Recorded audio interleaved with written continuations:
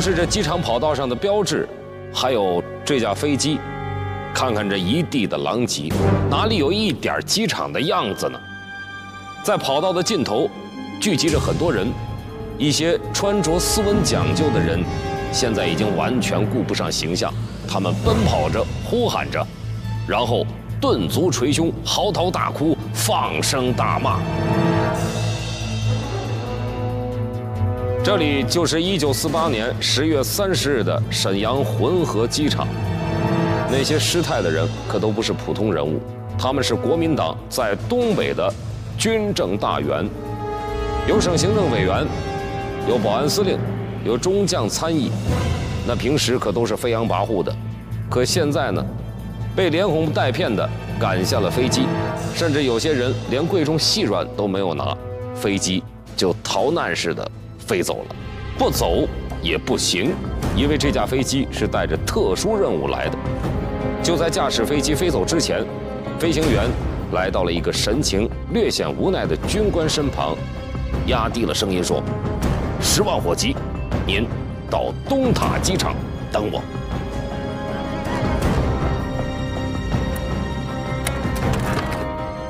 这个无奈的军官不是别人，正是他。几天前还在东北这块土地上叱咤风云的国民党东北剿总总司令卫立煌，可是如今的东北，现在的沈阳，卫立煌已风光不再。沈阳这个全国最大的重工业城市，此时已经成为国民党军队在东北的最后一个战略据点。就像您刚才看到的。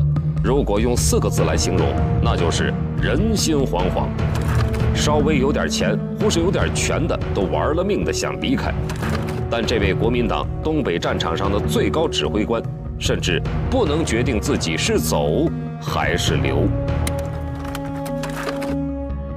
走，就是高级将领临阵脱逃。不用说，东北战败的全部责任都将由他卫立煌来负。况且走能走到哪里呢？那要是留呢？他在抗日战争时期的老朋友，解放战争中的老对手林彪，已经带着几十万人马破城而来。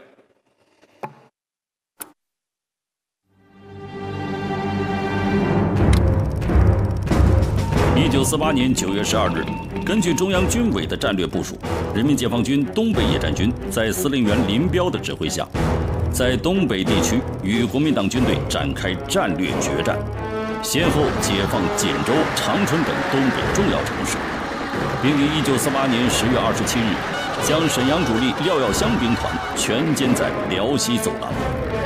此时，东北地区的国民党军只剩下沈阳一处大城市。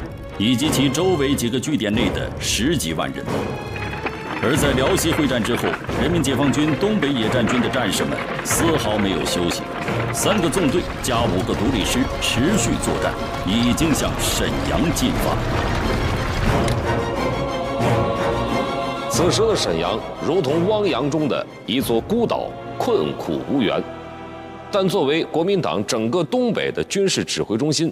让人感觉奇怪的是，现在再来看看那些关于解放沈阳的记载，都是寥寥数笔，似乎这些都在证明这场攻坚战好像没有遇到大规模的抵抗。的确，国民党军队现在是兵败如山倒，斗志全失。但沈阳城高墙厚，易守难攻，毕竟里面还有近十四万的军队把守。沈阳的国民党军队防守力量比起不久前攻克的锦州城要强大的多。难道事情真的如此简单？顺利解放沈阳的背后，究竟还隐藏着什么样的往事呢？这一切，我们都要从那位守城的将领卫立煌说起。蒋介石在东北打出了最后的一张王牌——卫立煌。试图改变国民党惨不忍睹的东北剿匪境况，但出乎蒋介石的预料，卫立煌到东北之后采取的战略却是坚守不出，以待事变。几个月下来，这个固守的策略可以说被卫立煌坚持到了极致。无论各地守军如何告急，无论蒋介石反复来电催促他出击，无论林彪打到什么地方，他都一概不为所动。要说带兵打仗，卫立煌称得上是一员勇将。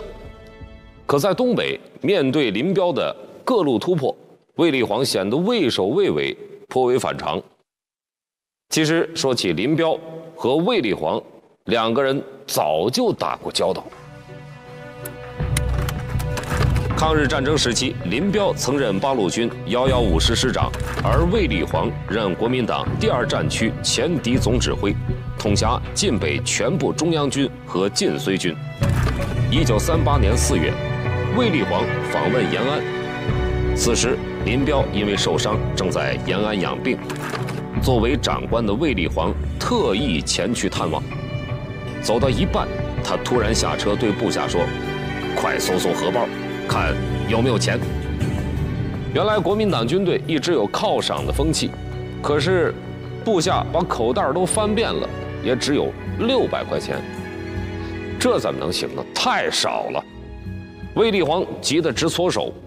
等他赶到二十里铺，他就问林彪：“部队有什么困难，自己能帮得上忙的？没带红包就送点东西呗。”林彪一直摇头，他表示感谢。部队。到底有什么困难？卫立煌不送点东西，似乎心有不甘。林彪就说了一句话：“部队缺弹药，那我就送弹药。”第二天，卫立煌抵达驻地西安，下令拨给八路军子弹一百万发，手榴弹二十五万枚，牛肉罐头一百八十箱。这巨大的数字让国民党的后勤部门倍感为难。可卫立煌不管，照单播出，出了问题，我卫立煌负责。三十天后，当十多辆军车把子弹、罐头等这些物资运送到二十里铺时，林彪激动不已，连忙说：“礼重了，礼重了。”而十年之后，一九四八年，在这片白山黑水之间。当年的老朋友变成了兵刃相见的对手。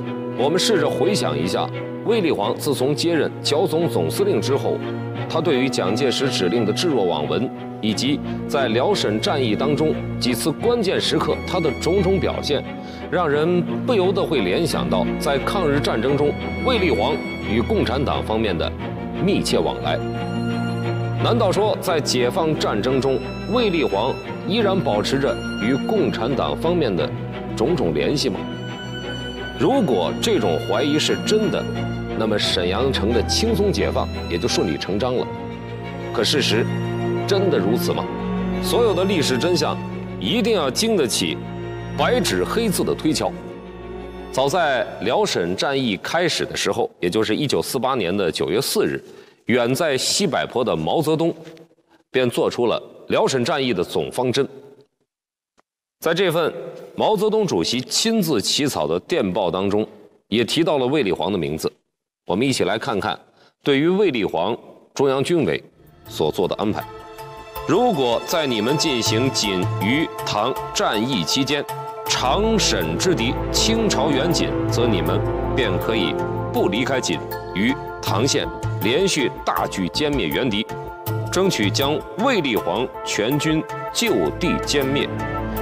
于此，你们应当注意，确立打你们前所未有的大歼灭战的决心，即在卫立煌全军来援的时候，敢于同他作战。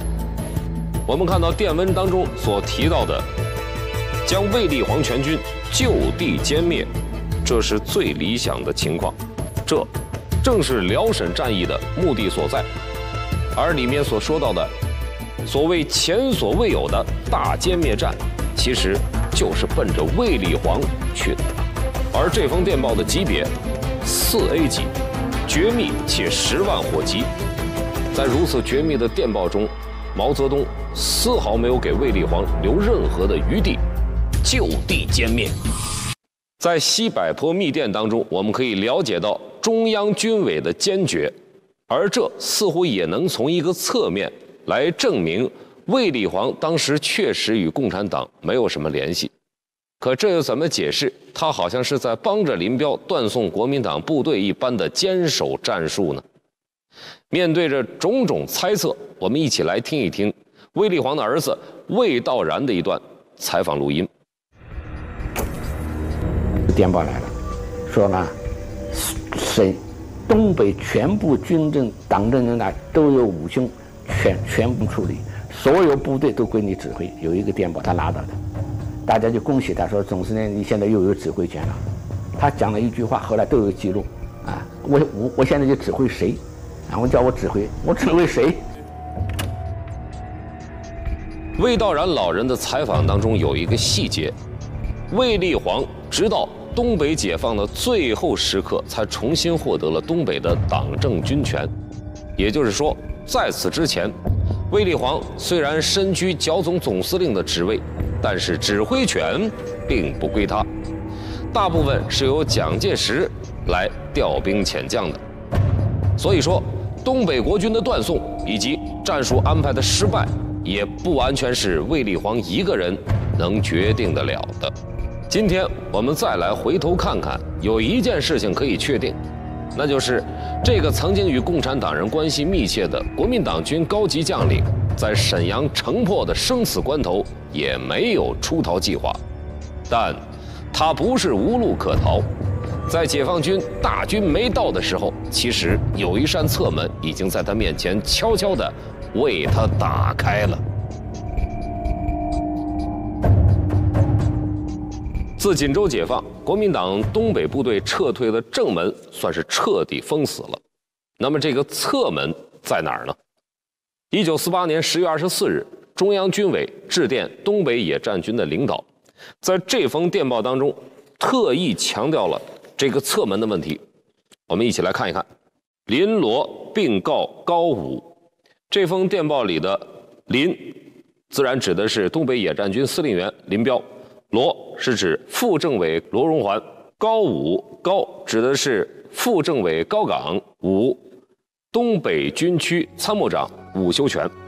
敌人准备以营口为其两条退路之一，已甚明显。敌主力在黑山北镇地区被我歼击时，其溃逃部队亦可能退向营口，因此你们仍应从各独立师中抽出一部向南歼灭鞍山、海城、牛庄之敌。这封电报当中所说的敌人，指的就是沈阳的主力防守廖耀湘兵团，而当时解放军还没有空军和海军的力量，所以一旦国民党军队逃至海上，我们就没有办法了。因此，在东北野战军攻占锦州之后，毛泽东不断的给林彪发去电报，反复的强调，敌军很有可能会从营口撤退。而且在电报中高度重视营口问题的毛泽东，还对如何阻止敌人做出了周密细致的安排，包括部队要从独立师中抽调，先打外围，再战主力。林彪呢，也对此。做出了相应的安排，可是，一个重大的失误，还是出现了。此时的国民党军队，如果想离开东北的话，只有两条路：第一，经锦州从陆路撤退；第二，经营口从海上撤退。毛泽东坚决主张先打锦州，断了国民党的陆路。这个时候，国民党军队如果再想逃跑，那么他们只剩下营口港这一个出路了。在十余个纵队围剿廖耀湘兵团时，林彪按照中央军委的安排，派出独立二师和一个重炮连南下进攻营口，阻止敌军从海上增援或逃跑。但南下的部队还在半路上，林彪发现国民党军并没有向营口撤退的迹象。林彪认为，独立第二师到达营口后，可能无仗可打。在他们将廖耀湘兵团逃向营口的先头部队打回来后，又命令他们北上对廖耀湘兵团实施侧击。的确，当时的廖耀湘兵团在黑山突围数日不成，整个兵团在辽西战场上如陷泥潭一般，已经没有任何力量进行突围了。可就在这个时候。有另一支国民党精锐，却脱离了大部队，目标明确，向着营口悄悄的急行军。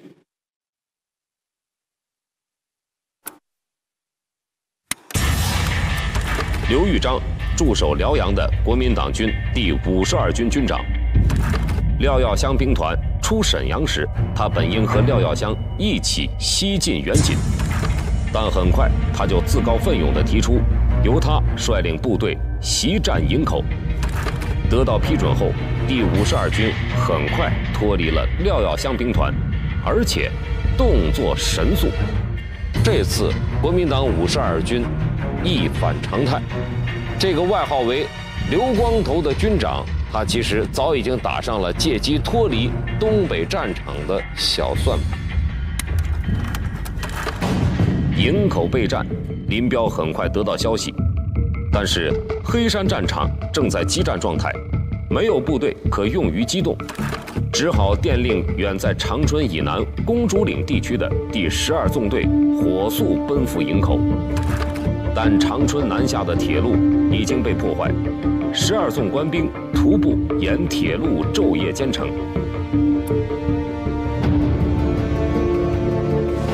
十二纵还没有赶到营口，毛泽东的电报就到了林彪的前线作战指挥室。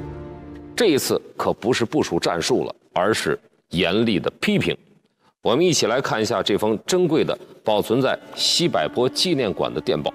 林罗刘并告东北局：你们事先完全不估计到敌人以营口为退路之一，在我们数电指出之后，又根据五十二军西进的不确实消息，忽视对营口的控制，致使五十二军部队于二十四日占领营口，是一个不小的失招。可以看到，在这封电报中，是一个后面。本身是有几个字的，但被毛泽东划掉，取而代之的是“不小的”三个字。通过它能够感觉得到，毛泽东对于忽视营口的后果非常生气。接着往下看，如果敌人集结一起从打虎山向东，正面无重兵堵击。不能收夹击之效，则敌有全部或大部跑到营口的可能。敌人的全部或大部分都有跑到营口的可能。这个时候情况已经相当严重了，林彪也紧张起来。东北野战军在进行完辽西会战之后，根本就没有任何时间进行休整。第一、第二、第十二纵队负责攻打沈阳，剩下的第七、第八。第九纵队以及独立二师等部队火速赶往营口，但辽西会战结束时已经是十月二十七日。二十四日，刘玉章占领营口已经过去三天了。之前我们说过，从沈阳到营口急行军只需要一天的路程。那么这个时候，卫立煌会做出什么样的打算呢？东北野战军的战士到达营口之前还有几天的时间，在此之前，卫立煌都明白，这道侧门对他而言依然是敞开的。但在这个时候，他为东北地区残存的国民党官兵所做出的抉择是：营口的五十二军撤离，其余部队固守沈阳。在东北战场上的卫立煌，此时依然是他一贯的固守待援，甚至他明知已经不可能再有什么后援了，他还是在死守。他没能挽救在东北战场上国民党最后的部队。正是这些闪回的历史画面，让人们对于此刻卫立煌的想法疑惑重重。更有甚者说，卫立煌是解放战争时期共产党方面派出的最大的卧底，而理由。也很简单，因为多年前，卫立煌曾要求加入共产党。这个人叫赵荣生，曾经担任卫立煌的少校秘书。还记得卫立煌前去看望林彪没带礼金的事儿吗？当时向卫立煌建议，既然没带钱，不如送林彪所需的弹药物资的人，正是他。而赵荣生的真实身份其实是一名隐蔽战线中的共产党员。根据赵荣生的回忆，抗日时期，卫立煌曾经悄悄地对他说：“我参加共产党好吗？”并让赵荣生立即到西安八路军办事处去找当时的陕甘宁边区政府主席林伯渠当面一问。而林伯渠的答复是：“魏先生若能作为一个执行孙中山先生三大政策的国民党员，比他参加共产党对中国革命更为有利。”这些往事是不是卫立煌坚守的原因，我们不得而知。但有一点可以肯定，卫立煌的心里清楚，沈阳这十几万部队根本走不到营口，就会像廖耀湘的部队一样被围歼和消灭。而且他的军队已经完全丧失了与共产党军队作战的信心和勇气，况且他根本就走不了。就在廖耀湘兵团被消灭殆尽，东野各部队迅速向着沈阳开进的时候，卫立煌曾向蒋介石发去了一封急电，他的意图很明显，目前东北的局势已经是回天乏术。那我是撤呀，是撤呀，还是撤呀？十月二十七日，南京回电，卫立煌郑重其事地打开机要室递上来的绝密档案夹，一看，他当时就惊呆了，只有两个字：震惊。这是哪门子的回电？他当时就冲着情报主任吼：“还有吗？”刚问完，门口有人报告：“报告司令官，南京追电。”我就说嘛，电报不可能只有两个字。这次卫立煌打开再一看，人在沈阳在，要与剿总大楼共存亡。卫立煌看完这封电报，估计一句话都说不出来了。他知道在此兵临城下之际，蒋介石是置他于生死而不问呐。一方面，他催促着妻子韩全华赶紧收拾东西离开沈阳；另一方面，他垫付蒋介石，要与沈阳共存亡。卫立煌依然留在这座危城中，他默默地端坐于总司令部。此时，除了等待，他什么都做不了。而在那道侧门营口，刘玉章也在等。国民党第五十二军的几万名士兵焦急地等待着带他们离开东北的军舰，可海上连个船影都没有。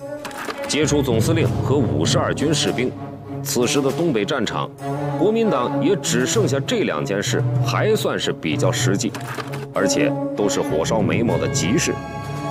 蒋介石糊涂了，但有一个人可一点也不糊涂。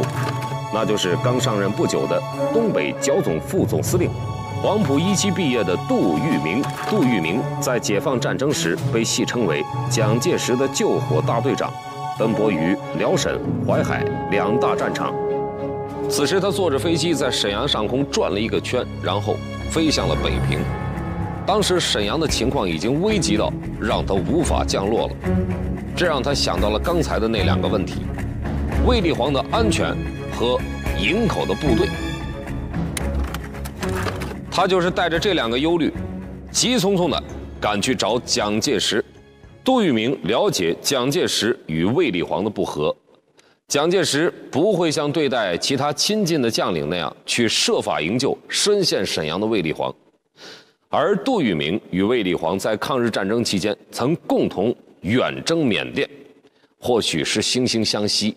他绝对不会听任卫立煌落入共产党军队之手，否则除了国民党军队颜面扫地之外，又如何对得起他本人呢？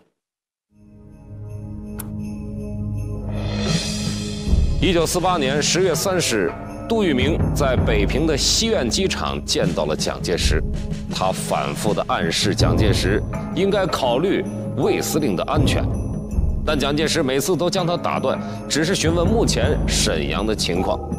说到最后，蒋介石都有点不耐烦了，直接跟杜聿明说：“你去葫芦岛等命令，营口的事我去催，就是绝口不谈卫立煌的事。”说完，蒋介石朝他的专机走去。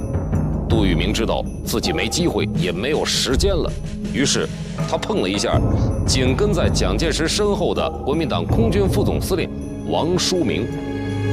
王书明明白杜聿明的意思，他赶紧上前一小步，低声地问蒋介石：“是不是先把魏先生接出来呢？”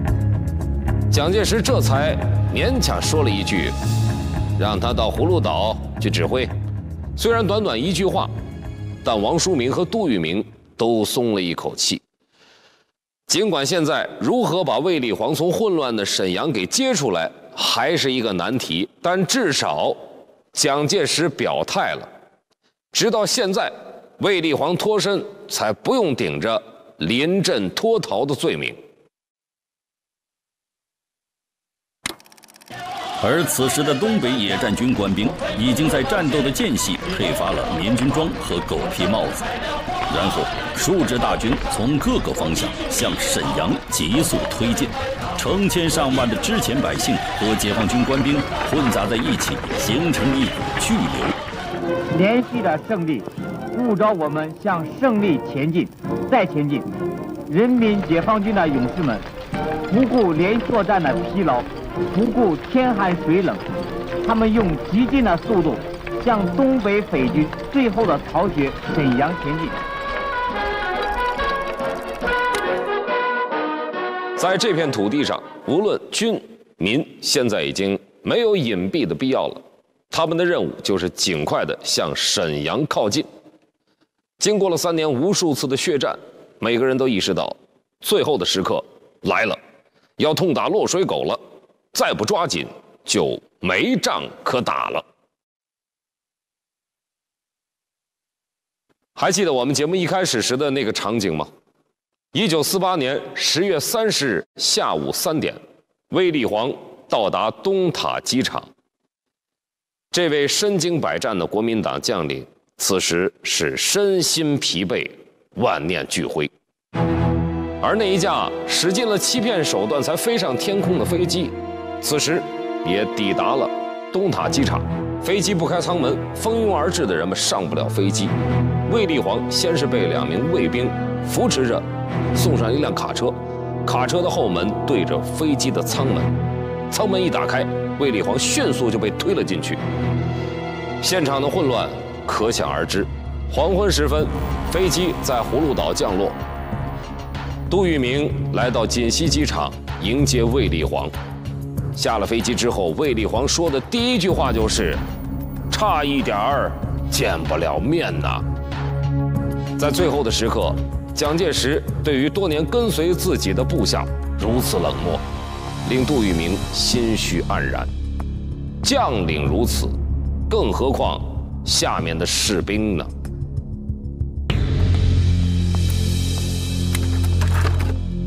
这是当时美国生活杂志的记者拍摄下来的一张照片，一个在沈阳城里的国民党老兵于救济站内喝着粥，可以看到。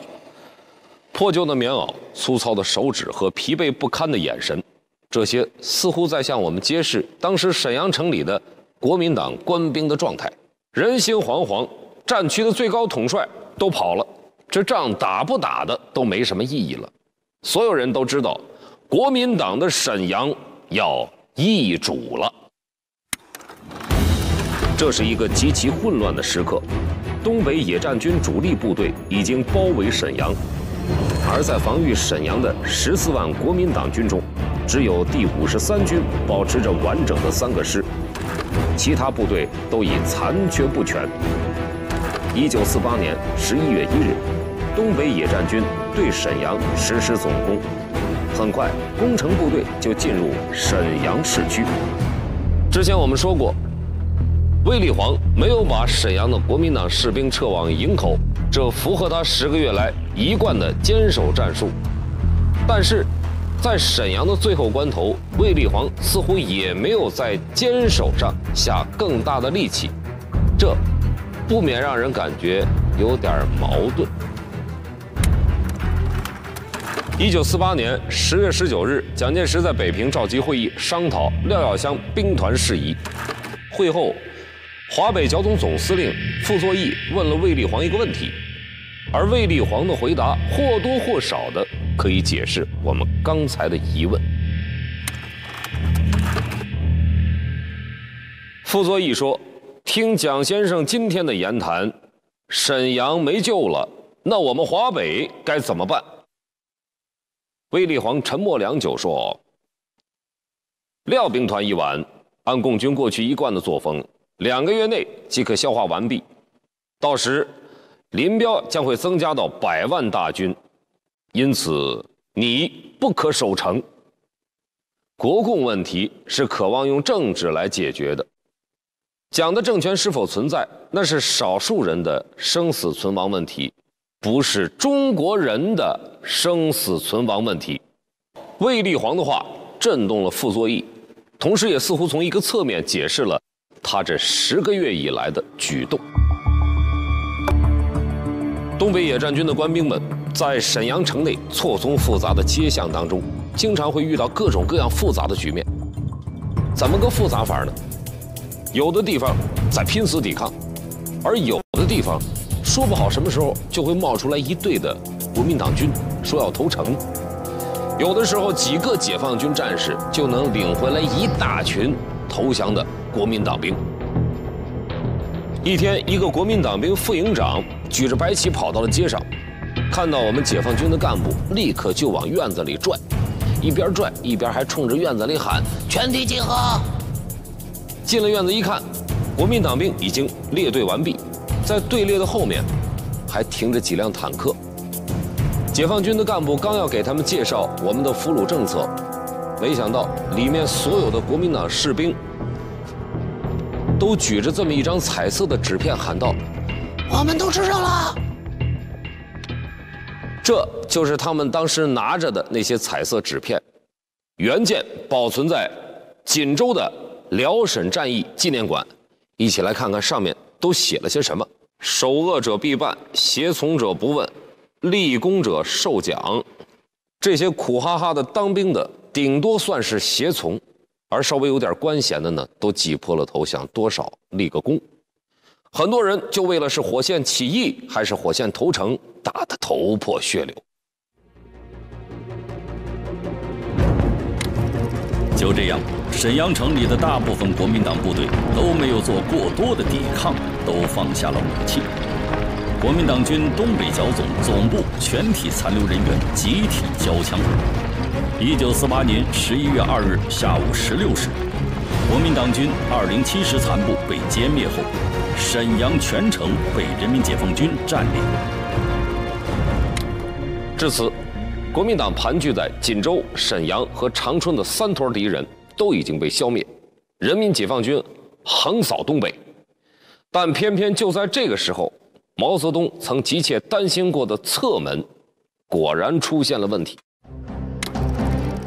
就在东北野战军主力对沈阳发起总攻的时候，在沈阳的西南方向，第七、第八、第九纵队对营口形成包围。一九四八年十月三十日，东北野战军九纵率先赶到了营口北郊的石桥子，国民党军第五十二军军长刘玉章在此孤军坚守。这时候，后有大海，前有无数解放军战士。刘玉章和属下也知道再无退路，全都杀红了眼，以五个团全面反击。而与此同时，国民党海军总司令桂永清率领重庆号巡洋舰以及二十多艘登陆舰和商船抵达营口港。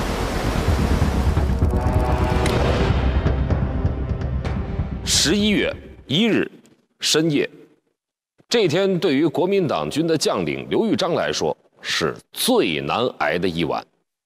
五十二军几万名官兵挤在营口港的商船里，如同罐头里的沙丁鱼。他们得扛过这一晚，等到明天早上涨潮的时候才能出海。十一月二日清晨，满载着国民党兵的商船刚刚驶离港口，解放军九纵二十六师便出现在了营口港。此时港口上出现了混乱的一幕，我们一起来听一听时任。九纵政委李忠全的采访录音。敌人要上船，上船的敌人呐，整着上船，上船上的钉子拿枪打，不然后面爬。路上的敌人也像敌人，船上的开枪拿着，你们不管我们了。我们一到哦，看到说，弟兄们，他们不要紧，一个眼光就配合，我们打他，结果把个船给打趴了。此时的国民党士兵已是慌不择路了，向前无法上船，向后满是追兵。这些年轻的士兵们会不会后悔当初他们跟错了队伍？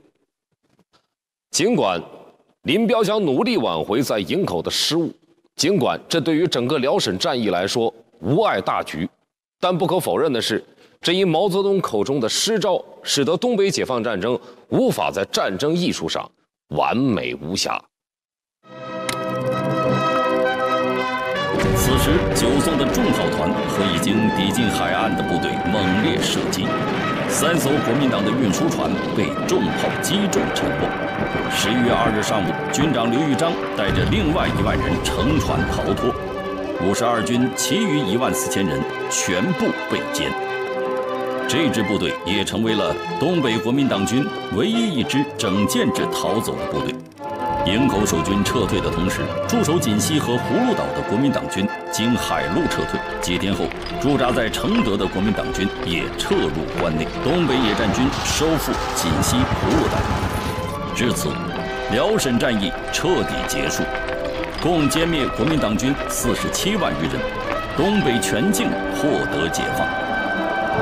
这一胜利使人民解放军获得巩固的战略后方和强大的战略预备队。解放军总兵力上升至三百万人，国民党军总兵力下降到两百九十万人，国共双方的正负位置已经颠倒过来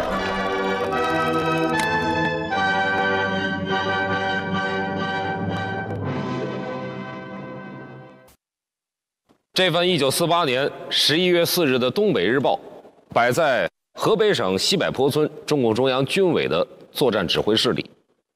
从九月十二日一直到昨天，整整五十三天，作战指挥室还是第一次这么安静。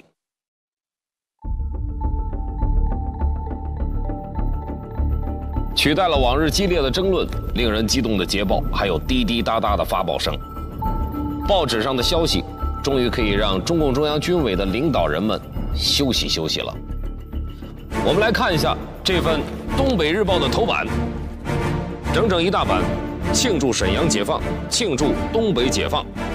大标题：攻克沈阳，全歼守敌，东北全境欢庆解放。气势宏大，激动人心。但同时，报纸上也说到了，除匪首卫立煌、杜聿明及少数高级官员以仓皇乘美制飞机逃跑外，无一漏网。一个总司令，一个副总司令。卫立煌和杜聿明从葫芦岛前后脚的逃往了北平，但是他们即将面对的结局却截然相反。一九四八年十一月七日，卫立煌从葫芦岛到达北平，蒋介石下令东北剿总总司令卫立煌迟疑不决，坐失军机，致失重镇，着即撤职查办。在北平孤独地住了几天后，卫立煌飞往上海，然后飞往广州，立即受到国民党特务的严密监视，后被军用专机送到南京上海路家中软禁。一九四九年初，国民党政权垮台在即，卫立煌才终于重获自由。一九五五年三月十四日，卫立煌和几名随从。由香港九龙秘密抵达澳门，第二天凌晨，他们乘坐一艘经过改装的小船，悄悄升锚，向着一水之隔的祖国大陆逝去。卫立煌先后被推选为全国人大代表、全国政协常委、民革中央常委，又接替龙云担任国防委员会副主席。一九六零年一月十七日，北京天降大雪。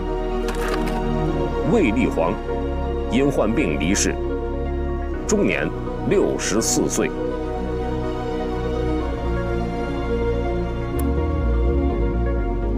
卫立煌离世的时候，当年将他救出沈阳的杜聿明刚刚获得特赦，走出北京的功德林监狱。一九四八年十一月七日，也就是卫立煌从葫芦岛到达北平的第二天，杜聿明也从葫芦岛撤到北平，只不过当天他就离开了。此时的杜聿明已经被折磨的疾病缠身，但仍被派往淮海战场。他只得以赴刑场之心情，再上战场，继续卖命。杜聿明留给北平的最后一句话是：“别忆故都，此生再看不到你美丽雄伟的画面了。”然后便飞往南京。杜聿明又被赶鸭子上架，前往中原腹地，担任所谓徐蚌会战的前进总指挥。而那场战役是一场比辽沈战役更大规模的厮杀，被中国共产党称为淮海战役。